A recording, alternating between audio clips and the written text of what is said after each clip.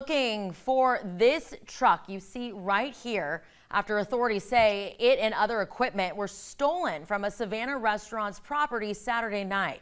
The Shellhouse restaurant has been trying to rebuild after a fire forced them to close nearly a year ago. The owner says this latest theft is just another setback standing in the way of the beloved seafood restaurant reopening its doors. Lindsay Stanger joins us now from the parking lot of the Shellhouse Seafood Restaurant. And Lindsay, how long do they think that this delay is going to cause them to, you know, possibly reopen in the future?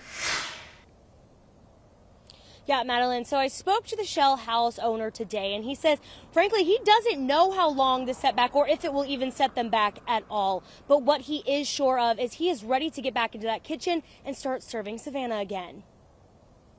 It's been a grueling process here. Here at the Shellhouse restaurant, owner Lance Garrett and his team of contractors have been pushing to reopen the beloved seafood restaurant for a better half of a year now. It's been a slow start uh, after the inspections, it's getting the equipment in and getting all your subs lined up, and so everything has has come full circle, and we're in the finishing stages now. A slow start and what seems to be a slower end. The final stages of construction were brought to a halt this weekend after Garrett says a trailer belonging to the HVAC company Southern Chill was stolen from the construction site. So when I got here, that's the first thing I noticed was those trailers were gone.